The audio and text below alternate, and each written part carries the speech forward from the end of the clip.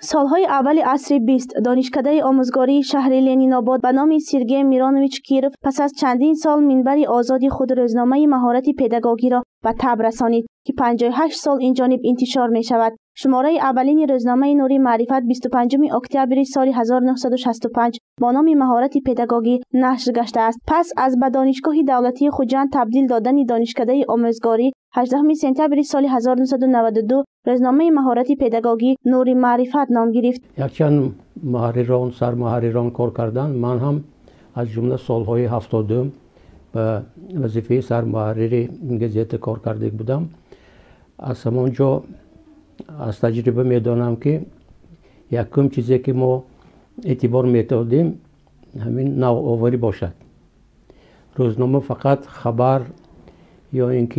معلومات را درش نکند و بسیار پرابلم های مهمی مکتبی عالی برداشتنش در کار بود. موضوع و محتوای مقاله های روزنامه اساسا مسائل علمی و تعلیمی را فرا گرفته فعالیت علمی و ادبی و ایجادی استادان و دانشجویان را در بر می‌گیرد.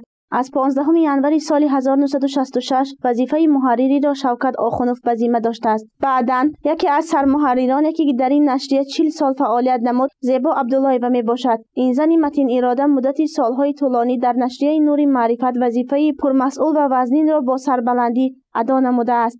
Ректор саттор қаимаш будам ҳамон сол ҷошон ҷаннат шавад суҳбат будам омдам ки ҳамин хел суҳбат кардам на пешвоз гирифтам. Гуфтанд ки муаллима шумо журналист будед шӯъбаи журналистикаи ман соли ҳафтоду се тамом карда будам душанбе шумо журналист будед яъне мо як сол ним сол омда кор мекунану меравам. Акун худатон маҳкам қабиду ҳамин кора худатон баред муҳарририя гуфта. Хай мара тасдиқ кардам баъд ҳизбаям қубул кардам. Ҳамин хел кора сар кардем дар нашрияи маҳорати педагогӣ олимону зиёёни зиёде кору фаъолият намуданд аз ҷумла адабиётшинос профессор абдуманнон насриддинов ходими давлатӣ узви иттифоқи журналистони тоҷикистон профессор усмонҷон ғаффоров кору фаъолият намуданд. Марҳилаҳои таърихӣ рӯйдодҳои сиёсӣ дар табу нашри рӯзнома ва ҳатто дар мавзӯъҳои он бетаъсир намонд. Муассиси нашрия донишгоҳи давлатии хуҷанд ба номи академик бобоҷон ғафуров буда сармуҳарририи онро алон бобоҷон қурбонов ба зимма дорад нашрияи мазкур дар вазорати фарҳанги ҷумҳурии тоҷикистон қайд гашта бо теъдоди 8530 нусха чоп мешавад азбаски газета газетаи соҳавӣ газетаи донишгоҳӣ аст донишгоҳӣ аст бештар маҳдуд мешавад фазои ҳамин донишгоҳ лекин фазои донишгоҳ аудиторияи донишгоҳ ҳам ки бештар аз чил ҳазор нафар то муаллиму то донишҷӯёну то дигар кормандону фаро мегирад. Ин як армияи бузург аст. Ва мо ҳамин масъулията дар табъу нашри газета ҳамин чиза эҳсос мекунем ва кӯшиш мекунем ки матолибе ки мо дар газета ҷой медиҳем фарогирӣ ҳамин мавзӯъҳо бошад.